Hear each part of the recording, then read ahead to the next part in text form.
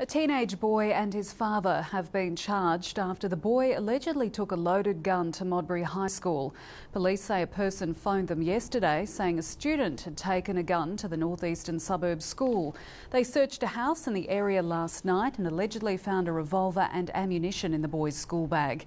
The boy and his 41 year old father have been charged with several offences, including possessing an unregistered loaded firearm.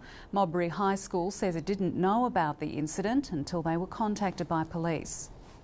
The main thing is that none of the students felt as though their, their, their safety was at risk, um, and that the lad himself wasn't threatening towards them at all.